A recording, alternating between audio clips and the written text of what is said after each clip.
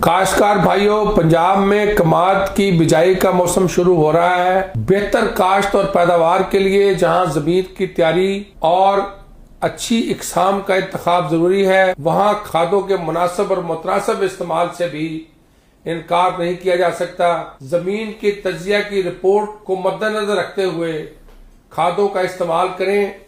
महकमा ज़रात की तरफ़ से मोबाइल एप्लीकेशन खाद हिसाब से आई है।